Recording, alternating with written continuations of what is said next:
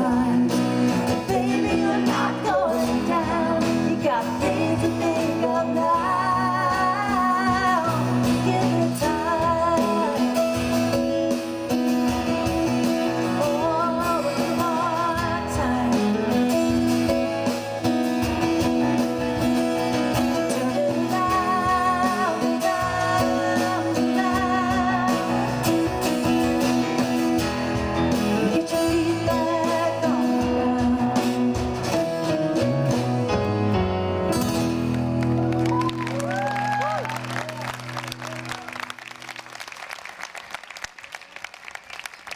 Thanks so much. Hey, that's Gene Miller uh, singing and playing guitar.